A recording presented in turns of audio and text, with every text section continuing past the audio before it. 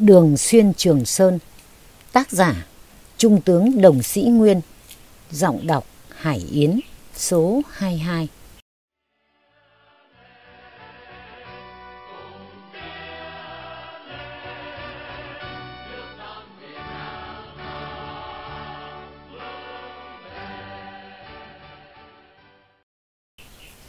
Có thể hơn bất cứ nơi đâu trên hậu phương lớn miền Bắc Quảng Bình, Vĩnh Linh là vùng đất hứng chịu sự tàn phá hủy diệt tàn khốc nhất của kẻ thù.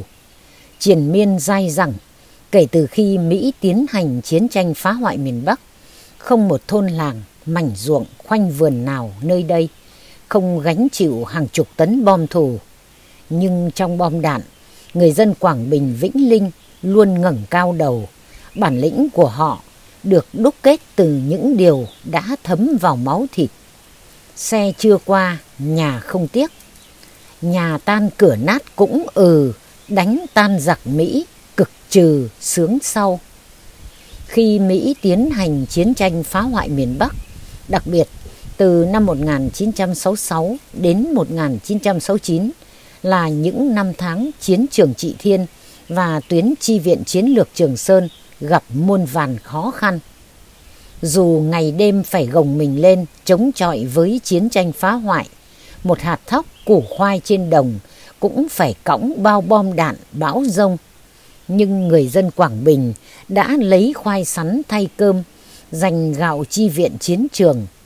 Trong những tháng ngày khó khăn trồng chất đó, đội ngũ cán bộ lãnh đạo của tỉnh, từ bí thư tỉnh ủy đến các anh Cổ Kim Thành, Chủ tịch tỉnh, lại Văn Ly, Trần Sự, Đặng Gia Tất và nhiều cán bộ khác đã có mặt thường xuyên ở những điểm nóng, trực tiếp chỉ đạo huy động nhân tài vật lực cho mặt trận giao thông vận tải. Trên mặt trận này, hầu như mỗi người dân Quảng Bình là một dân công, trai gái đều là thanh niên sung phong, nhà dân là doanh trại bộ đội, là quân y xá, là kho hàng mỗi chủ nhà là một thủ kho đầy bản lĩnh và phẩm chất trong sáng tuyệt vời. Trong khi cả gia đình sắn khoai là chủ yếu trong bữa ăn hàng ngày, nhưng gạo của chiến trường không hề suy xuyển một hạt.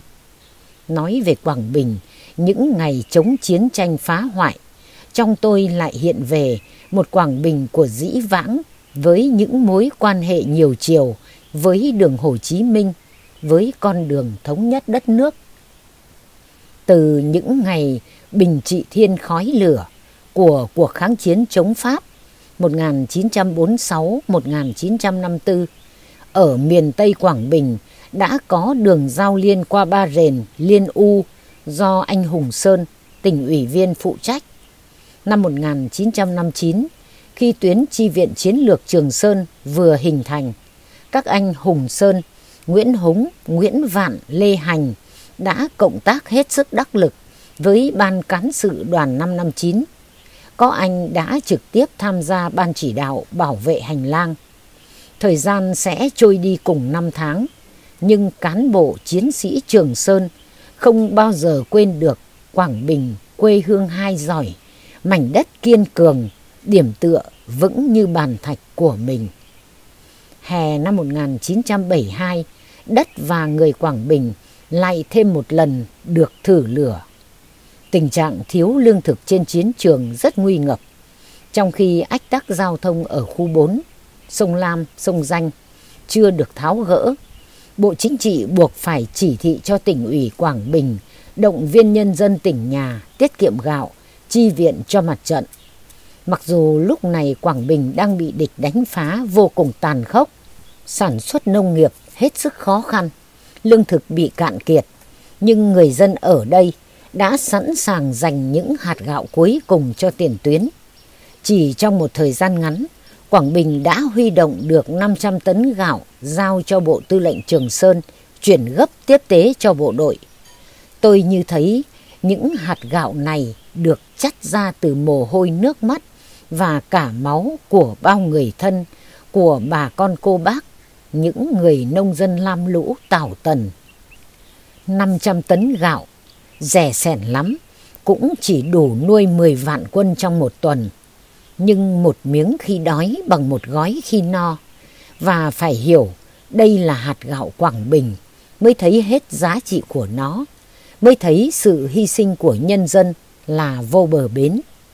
Ngày 22 tháng 10 năm 1972, Nixon tuyên bố tạm ngừng đánh phá miền Bắc từ vĩ tuyến 20 trở ra và trở lại đàm phán với ta ở Paris.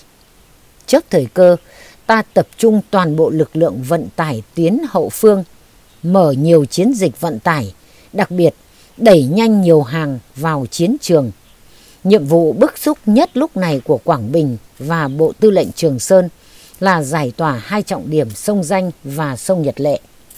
Sau khi được giao chỉ huy giao thông từ Bắc sông Danh vào Vĩnh Linh, Bộ Tư lệnh Trường Sơn quyết định đưa ngay hai trung đoàn công binh, hai trung đoàn cao xạ thiện chiến ra mở đường, vòng tránh các trọng điểm trên quốc lộ 1, quốc lộ 15 và bảo vệ các trọng điểm đó.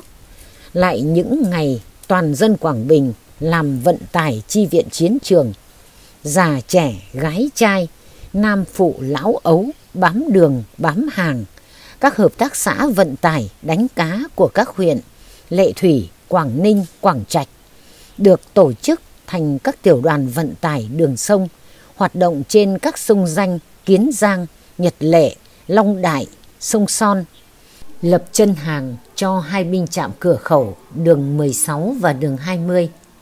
Đầu tháng 11 năm 1972, tôi cùng tham mưu trưởng vận chuyển Nguyễn Trúc và bí thư của tôi là Lê Mai Trung sang binh trạm 16 Bắc Sông Danh do anh Nguyễn Tuy làm binh trạm trưởng, Phùng Hữu Đễ làm chính ủy, bàn tìm cách giải tỏa hàng ở cảng danh. Nhân thể, tôi về thăm quê Quảng Trung, Quảng Trạch. Năm đó, mẹ tôi đã 89 tuổi, nhưng ơn trời còn khỏe và minh mẫn. Sau hơn 4 năm, tôi mới có được nửa buổi chiều bên mẹ. Bố tôi mất khi tôi vừa tròn 8 tuổi. Mẹ Tảo Tần gánh thêm phần chồng hôm sớm nuôi con. Đất nghèo, con đông, khó lấy gì đo được nỗi vất vả gian truân mà mẹ chịu đựng để chúng tôi học hành nên người. Lớn lên, tôi hoạt động cách mạng, nguy hiểm chết chóc, luôn rình rập gõ cửa. Mẹ không những không can ngăn, mà còn động viên, ngay cả những khi phong trào ở địa phương gặp khó khăn nhất. Nhà tôi là cơ sở để cán bộ hoạt động bí mật lui tới. Nhớ chuyện cũ, tôi càng thương quý mẹ khôn xiết. Biếu mẹ một củ sâm, một ký đường, năm ký gạo. Tôi xin phép lên đường. Chia tay giữa chiều đông, mẹ cứ dặn đi dặn lại. Mạ già rồi, nhưng ở nhà có chị em, bà con tròm xóm, còn khỏi lo cố mà giữ sức khỏe để phục vụ dân, phục vụ đảng. Phút chia xa, nhìn dáng chiều nghiêng xuống hiên nhà như chính bóng chiều đổ xuống cuộc đời gian truân của mẹ. Tôi khó lên nổi bước xuống thuyền. Mùa mưa qua, ách tắc ở Yết Hầu Nam khu 4 được giải tỏa. Tới tháng 10, các đơn vị đã chuyển được hơn 8.000 tấn vũ khí vượt phà danh Long Đại. Tháng 11, đưa tiếp vào chiến trường hơn 10.000 tấn vật chất. Nguồn hàng từ hậu phương chuyển vào đã từng bước khắc phục được khó khăn của các chiến trường. Vừa về sở chỉ huy, được dự báo các anh Văn Tiến Dũng, Đinh Đức Thiện sẽ vào làm việc với Bộ Tư lệnh Trường Sơn.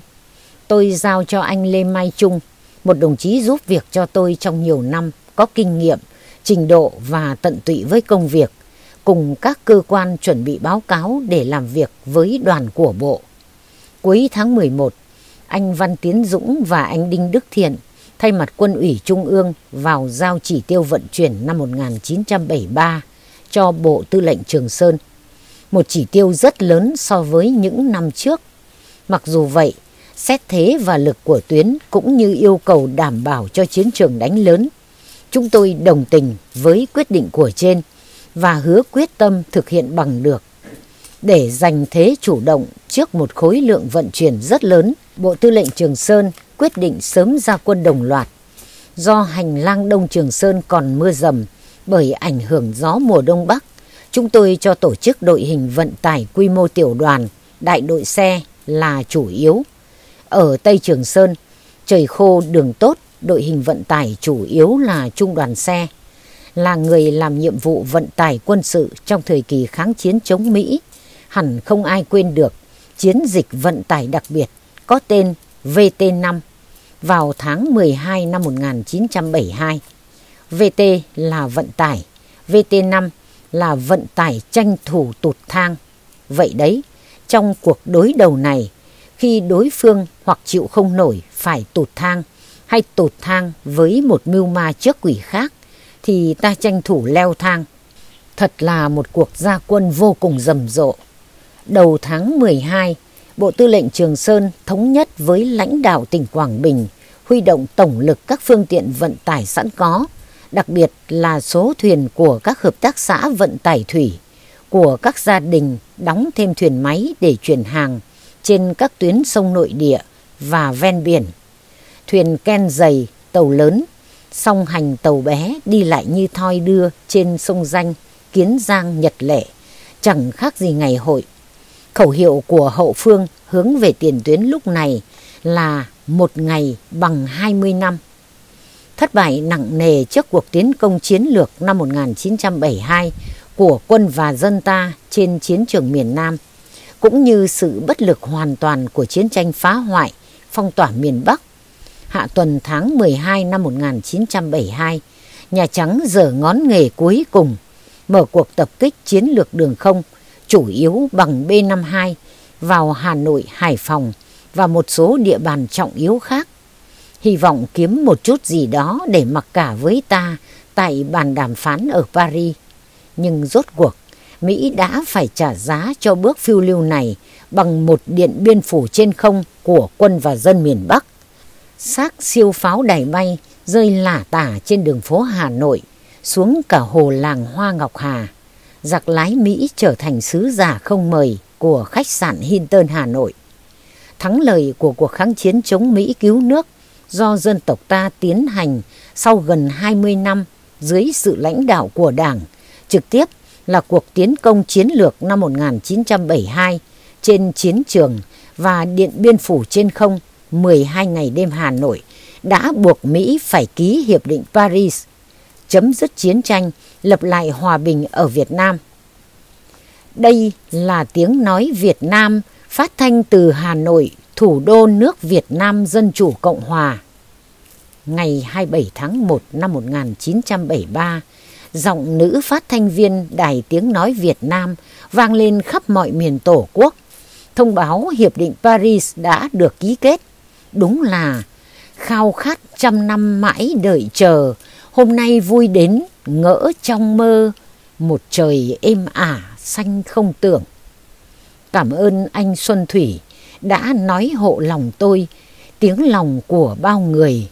Trời xuân xanh quá, tôi như nghe, như thấy trong lời thơ anh Xuân Thủy, trong giọng đọc của cô phát thanh viên.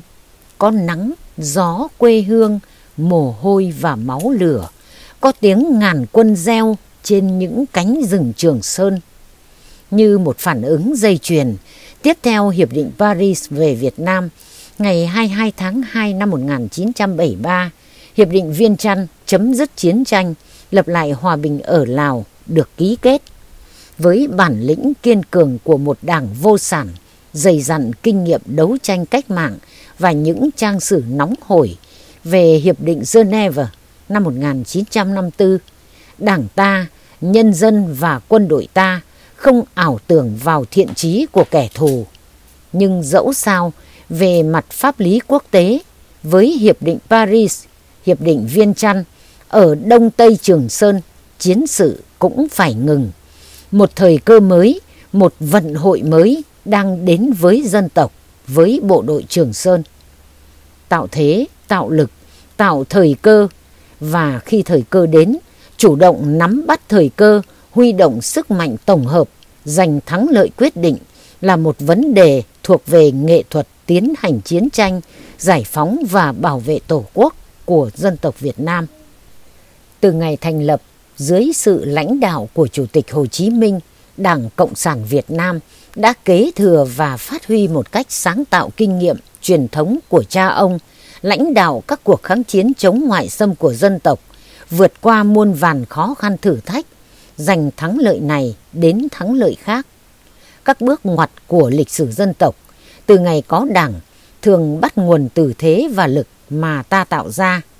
Ở những thời điểm quyết định, đảng ta đã biết phát huy cao độ sức mạnh dân tộc và sức mạnh thời đại để tiến công địch, giành thắng lợi quyết định. Cách mạng tháng 8 năm 1945, kháng chiến chống thực dân Pháp 1945-1954, đỉnh cao là chiến thắng Điện Biên Phủ, là những bằng chứng hùng hồn về tài nghệ tuyệt vời của Đảng, của dân tộc ta. Ý thức được một thời cơ mới, một vận hội mới đang đến với sự nghiệp kháng chiến, với lịch sử tuyến vận tải quân sự chiến lược. Bộ Tư lệnh Trường Sơn chủ trương đẩy mạnh nhịp độ vận chuyển chi viện mùa khô, đồng thời chuẩn bị phát triển hoàn thiện thế trận của tuyến chi viện chiến lược, góp phần tạo thế và lực mới trên chiến trường. Đầu xuân Quý Sửu năm 1973, đồng chí Lê Duẩn, người lãnh đạo cao nhất của đảng ta lúc đó, vào thăm chúc Tết bộ đội Trường Sơn. Thật khó nói hết không khí vui vẻ náo nức tại sở chỉ huy bộ tư lệnh ở Hiền Ninh, Quảng Ninh, chiều mùng 1 Tết năm đó. Khi anh Duẩn vào, xuân đất trời, xuân chiến thắng hòa quyện trong nhau, làm ngây ngất lòng người. Sau chén rượu, dăm ba câu chuyện và lời chúc đầu xuân, công việc lại kéo chúng tôi về với không khí làm việc nghiêm túc, nóng bỏng. Tôi báo cáo anh Lê Duẩn những phần việc chủ yếu đã làm, dự kiến kế hoạch sau thắng lợi quyết định của hai nước Việt-Lào. Anh ba rất vui, lắng nghe và thi thoảng ghi chép đôi chút. Phải hơn một giờ, nghe tôi báo cáo xong, anh mới hỏi thêm một số vấn đề. Đề cập tình hình và nhiệm vụ sắp tới, anh khẳng định. Tình hình địch ta trên chiến trường lúc này đã hoàn toàn khác trước. Chúng ta đang đứng trước một thời kỳ thuận lợi. Cục diện chiến trường, tương quan lực lượng đã thay đổi cơ bản theo hướng có lợi cho ta. Thời cơ đó có được là do ta đã tạo nên bằng một quá trình chiến đấu gần 20 năm.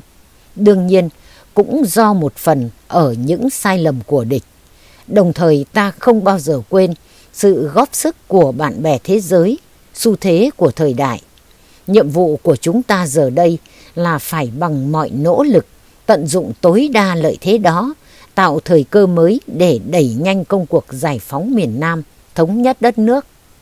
Bác Hồ của chúng ta đã khẳng định một chân lý, không có gì quý hơn độc lập tự do. Nhân dân ta, dân tộc ta, đất nước ta phải chịu đựng những năm dài đằng đẵng chiến tranh, từ kháng chiến chống thực dân Pháp đến kháng chiến chống đế quốc Mỹ. Hơn ai hết, đảng ta, nhân dân ta rất khao khát hòa bình. Nhưng nền hòa bình phải do tự ta chiến đấu giành lại. Phải có hòa bình, chúng ta mới thực hiện được độc lập dân tộc và chủ nghĩa xã hội. Bộ Chính trị đánh giá cao những kết quả mà tuyến đường Hồ Chí Minh đã làm những năm qua và tin chắc tuyến đường sẽ thực hiện tốt sứ mạng là cầu nối Bắc Nam, góp phần tích cực tạo thời cơ mới. Sổ vàng truyền thống binh đoàn Trường Sơn còn lưu ghi bút tích của anh Lê Duẩn trong chuyến anh vào thăm đầu xuân quý sửu. Đường Trường Sơn là một chiến công trói lọi trong lịch sử kháng chiến chống Mỹ cứu nước của dân tộc ta. Đường Trường Sơn là con đường của ý chí quyết thắng, của lòng dũng cảm, của khí phách anh hùng. Đó cũng là con đường đoàn kết của các dân tộc, của ba nước Đông Dương. Quang Vinh thay, bộ đội Trường Sơn anh hùng đã chiến đấu và chiến thắng trên con đường mang tên Bác Hồ vĩ đại. Sáng hôm sau, mùng 2 Tết, tôi và anh Đặng Tính vừa tiễn chân, vừa hướng dẫn anh Lê Duẩn thăm cầu phao Long Đại do công binh Trường Sơn thi công dùng cho hai làn xe. Đoàn đến cùng lúc một đơn vị vận tải đang dàn đội hình qua cầu. Lễ xuất quân đầu xuân rất gây ấn tượng. Tiếp đó, anh Lê Duẩn tới thăm một đơn vị cao xạ năm bảy ly bảo vệ cầu. Điểm dừng cuối cùng của anh là binh trạm 12, một đơn vị vừa hoàn thành xuất sắc nhiệm vụ vận chuyển đảm bảo chiến dịch Đông Hà, Quảng Trị 1972. Trước đông đảo cán bộ chiến sĩ của binh trạm, anh xúc động nói Tổ quốc ta, nhân dân ta, đảng ta rất tự hào có những người con kiên cường dũng cảm vô cùng tận như các đồng chí. Hơn một phần tư thế kỷ qua, kể từ ngày anh Lê Duẩn vào thăm chúng tôi ở Quảng Bình đầu xuân quý sửu, đến nay tôi vẫn nghĩ những dòng anh viết, những điều anh nói về bộ đội Trường Sơn là một trong những ý nghĩ tình cảm vô cùng quý giá mà các đồng chí lãnh đạo cao nhất của Đảng và Nhà nước dành cho tuyến đường mang tên bác. Đón Tết xong, anh Đặng Tính và tôi nhận được điện triệu tập cuộc họp của Thường trực Quân ủy Trung ương. Ngày mùng 5 tháng 2 năm 1973, hai anh em có mặt tại Hà Nội nhận nhiệm vụ Quân ủy Trung ương và Bộ Quốc phòng giao. Điều tôi thực sự tâm đắc trong đợt công tác lần này là ngoài những chỉ tiêu vận chuyển chi viện theo yêu cầu quân sự và quốc kế dân sinh vùng giải phóng, Quân ủy Trung ương đã giao cho Bộ Tư lệnh Trường Sơn nhiệm vụ phát triển hoàn thiện thế trận vận chuyển, đặc biệt là thế trận cầu đường và tổ chức lực lượng theo quy mô thích hợp với điều kiện mới, đáp ứng yêu cầu trước mắt và lâu dài. Những nhiệm vụ chủ yếu mà Thường trực Quân ủy Trung ương giao cho Bộ Tư lệnh Trường Sơn hôm đó, sau này được phát triển và hoàn thiện thành Nghị quyết 81 QU TU của Quân ủy Trung ương ngày 5 tháng 5 năm 1973, nghị quyết chuyên đề về nhiệm vụ chi viện chiến trường và phát triển tuyến chi viện Trường Sơn trong tình hình mới. Nhận nhiệm vụ được giao khi mùa khô đã qua nửa thời gian, Bộ Tư lệnh chủ trương tranh thủ đẩy mạnh khâu vận chuyển chiến lược, tập trung dứt điểm khối lượng hàng chuyển giao các chiến trường khoảng 80.000 tấn, tạo đủ chân hàng để Bộ Tư lệnh Sư đoàn 470 sử dụng Trung đoàn 53 vận tải đường sông chuyển giao Nam Bộ trong mùa mưa. Để đáp ứng nhiệm vụ trong giai đoạn mới, Đảng ủy Bộ Tư lệnh quyết định điều chỉnh lại tổ chức toàn tuyến theo hướng thành lập những sư đoàn binh chủng cơ động trực thuộc Bộ Tư lệnh. Cụ thể, chúng tôi đề nghị Quân ủy Trung ương, Bộ Quốc phòng cho bỏ cấp binh trạm, các sư đoàn khu vực thành lập các sư đoàn binh chủng nhằm tạo những quả đấm mạnh thực hiện vận chuyển đường dài và đủ sức giải quyết những công trình trọng điểm trong thời hạn cho phép. Cũng phải đến mùa hè năm 1973, việc điều chỉnh tổ chức biên chế mới ngã ngũ bằng việc Quân ủy Trung ương phê chuẩn chuyển sư đoàn khu vực hậu cứ 571 thành sư đoàn 571 ô tô vận tải và chuyển sư đoàn khu vực 473 thành sư đoàn công binh 473 trực thuộc Bộ Tư lệnh. Đây là hai sư đoàn binh chủng chưa có tiền lệ trong lịch sử tổ chức quân đội ta. Chúng tôi cho đây là một sáng tạo độc đáo của Đảng ta trong xây dựng lực lượng vũ trang và lãnh đạo chiến tranh cách mạng. Win Nguyên Việt Nam trân trọng cảm ơn quý vị và các bạn đã quan tâm theo dõi. Xin kính chào tạm biệt và hẹn gặp lại.